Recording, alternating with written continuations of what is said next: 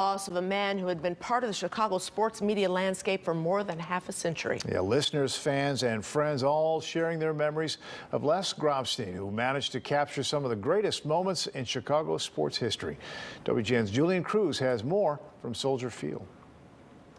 Good evening. Les Grobstein, not just beloved by his many loyal listeners, but widely admired by his fellow sports journalists for his kind manner and his tremendous knowledge of Chicago sports history.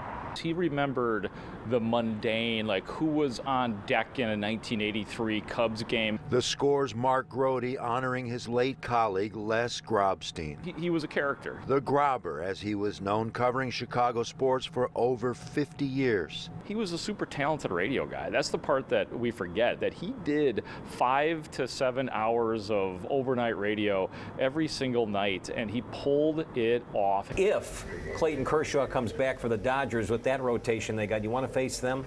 I don't. Grobstein making an appearance on WGN Sports Feed through the decades, covering some of Chicago's most famous and infamous moments in sports. Because if they're the real Chicago fans, they can kiss my.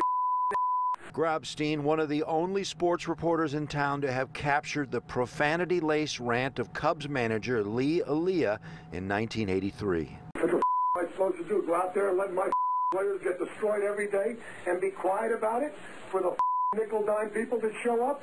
The don't even work. That's why they're out at the game. They only go out and get a job and find out what it's like to go out there and a living. He was the first guy that put it out there. So I mean, we, the world might not have heard it if not for Les Grobstein. Grobstein's colleagues telling us that they were shocked to hear the news of his death. He is said to have been found dead in his home Sunday in Elk Grove Village. At Soldier Field, Julian Cruz, WGN News. And that brings us to the bowl.